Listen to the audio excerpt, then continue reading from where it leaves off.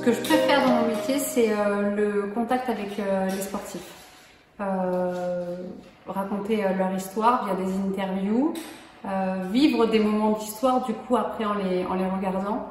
Je dirais que c'est ce côté un peu humain. Moi, je vibre à fond avec eux et j'ai l'impression qu'ils sont de ma famille. donc voilà, je dirais c'est le contact avec, avec le sportif.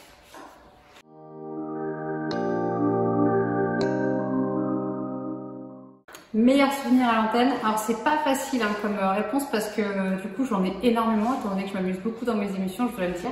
Mais euh, je dirais s'il y a un top 1, c'est euh, le lendemain de la victoire de, de l'équipe de France euh, 2018, la deuxième étoile où c'est parti complètement en live sur le plateau, c'est-à-dire que en vérité on n'avait même pas de conducteur, je savais même pas ce que j'allais faire. J'ai dormi peut-être une heure et demie et j'ai retrouvé euh, peut-être à il était 9h du matin mon patron dehors euh, dans la cour de Beansport en train de faire des merguez. Donc ça s'est transformé en énorme barbecue à l'antenne, normal. Donc euh, je dirais euh, je dirais à l'antenne le, le lendemain de, de la victoire de, de l'équipe de France, la deuxième étoile.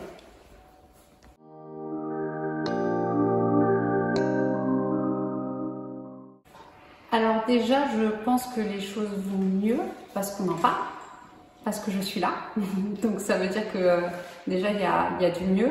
En tout cas, si je compare par rapport à il y a 20 ans. Après, il y a toujours des choses à faire, évidemment.